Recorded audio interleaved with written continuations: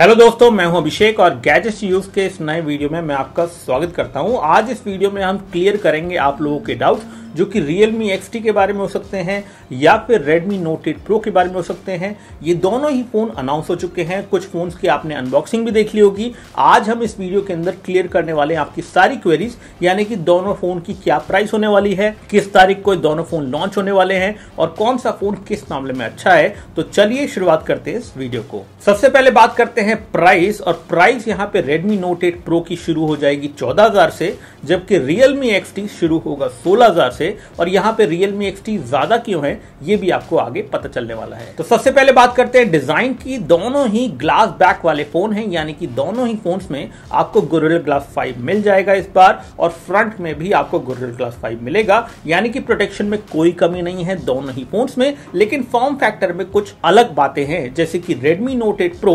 199 ग्राम का है ऑलमोस्ट 200 ग्राम का फ़ोन है, थोड़ा सा हैवी है। कंपेयर टू Realme XT जो कि 183 ग्राम पे आपको मिल जाएगा, साथ ही साथ थिकनेस में Redmi Note 8 Pro 8.7 millimetre mm की थिकनेस के साथ आएगा, जबकि Realme XT 8.55 मिलीमीटर की थिकनेस के साथ आएगा।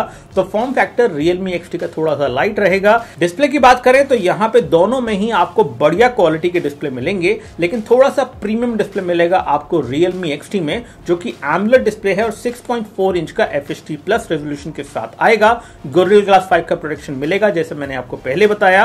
और साथ ही साथ जी जी फाइव डिस्प्ले के साथ आएगा रेडमी नोट एट प्रो भी, जिसके अंदर आपको एफ़ प्लस रेजोल्यूशन मिल जाएगा, लेकिन वो एक आईपीएस एलसीडी डिस्प्ले रहेगा। तो डिस्प्ले के हिसाब से यहाँ पे Realme XT बेहतर आ जाता है। प्रोसेसर की बात करूँ दोस्तों तो यहाँ पे MediaTek का G90T जो कि गेमिंग सेंट्रिक प्रोसेसर है, वो आपको रेडमी नोट एट प्रो में मिल जाएगा और वो भी सस्ते दामों में। यानी कि गेमिंग के हिसाब से रेडमी नोट एट प्रो ज़्यादा बेहतर परफॉर्म करेगा। और यहाँ पे हमने डिवाइस टेस्ट करके भी देखा है, यानी कि जो प्रोटोटाइप डिवाइस है, जो इस प्रोसेसर के साथ है, वो हमने चेक करके देखा है। अगर हम बात करें Realme XT की तो वहाँ पे थोड़ा सा डिसअपॉइंटमेंट है, क्योंकि वहाँ पे जो प्रोसेसर है, जो कि 730G हो सकता था, लेकिन वहाँ पे स्नैपड्रैगन 712 मिलेगा आपको।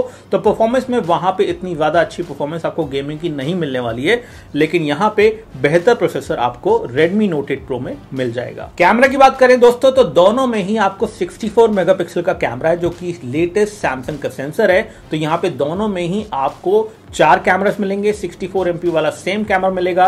लेकिन जो कैमरा के रिजल्ट्स हैं, वो हमने अभी नहीं देखे हैं। उसके लिए मैं रिकमेंड करूँगा कि रोहित भाई ने एक कंपैरिजन वीडियो किया है, जिसमें दोनों कैमरा का कंपैरिजन उन्होंने किया है। वो आप जाके ज़रूर देख लेना डिस्क्रिप्शन में आपको लिंक मिल जाएगा। अगर स्पेसिफिकेशन की बात करें तो दोनों में सेम कैमरा है और दोनों में ही आपको वाइड एंगल कैमरा मिल रहा है। दोनों में ही आपको मैक्रो कैमरा मिल रहा है और दोनों में ही आपको टू मेगापिक्सल का डेप सेंसर भी मिल रहा है। सेल्फी कैमरा की स्पेसिफिकेशन की बताऊँ तो यहाँ पे आपको 20 मेगापिक्सल का फ्रंट कैमरा मिल रहा है Redmi Note 8 Pro में, जबकि 16 मेगापिक्सल का फ्रंट कैमरा मिल रहा है Realme XT में, और सेल्फी कैमरा का कंपैरिजन भी यहाँ पे रोहित भाई की वीडियो में बहुत अच्छे से है। तो आप जाके देख लीजिए वहाँ पे कि किस तरह की क्लैरिटी मिलने वाली है आपको फ्रंट कैमरा से दोनों फ़ोन में। बैटरी की बात करूँ दोस्तों तो यहाँ पे बड़ी बैटरी आपको मिल रही है रेडमी नोट एट प्रो में 4500 mAh की, और 4000 mAh की बैटरी मिल रही है Realme XT में फास्ट चार्जिंग दोनों में मिल रही है और फास्ट चार्जर भी दोनों में मिलेगा, जबकि 18 वॉट का फास्ट चार्जर मिलेगा आपको Redmi Note 8 Pro में, जबकि 20 वॉट का फास्ट चार्जर मिलेगा यहाँ पे Realme XT में।